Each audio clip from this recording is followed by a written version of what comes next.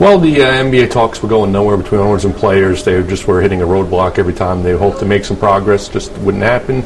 So the federal mediator had been in touch with both sides and said he'd like to give this a try, and see if he could help them get moving forward. And uh, both sides said we, you know, maybe a new voice will help the process. So he's coming in Tuesday.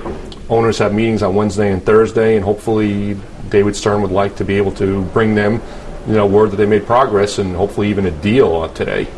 Well, there are two sticking points really. Uh, one has been the way they're going to split the revenues, players and owners. Uh, the league would like a 50-50 split. Uh, the players got 57% in the old deal. They don't want to go below 53% in the new one. So they're pretty far apart on those two, even though the numbers don't sound that far apart. It's about $40 million over the course of one season for each percentage point. So it's uh, they're at least you know 120 million or so apart so far.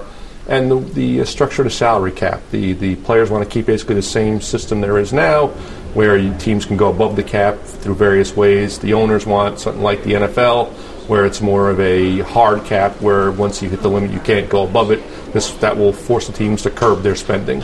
Sorry. Two weeks have been canceled uh, so far, and, and, David Stern said basically last week on one interview with WFAN in New York, he said his gut tells him there'll be no games on Christmas if there's no deal today. So that seems a little bit of a stretch. The players feel that that's kind of a, he's just uh, maybe throwing out a you know a deadline that's not really it's arbitrary. They called it, but you know it definitely there could be cancellations coming soon if there's no real progress today and possibly you know by the end of this week. Yeah, it's it definitely you know as David Stern says, if if you know we don't start making progress soon, the offer's only going to get worse. Once both sides start losing money, they try and make up that money through the the proposals, and they're going to ask for more than they're asking for now, possibly, and then you know, yes, it's you know most people don't think they'll lose the season, but no one can rule it out right now unless they start doing something really quickly. No one really knows yet. Uh, going by the schedule from the previous lockout, it was really the first week in January was the deadline to cancel the whole season. So, you know, similar to you know we would think around the new year would be if there's no basketball by then, we might miss everything. hopefully, it doesn't get to that point, obviously.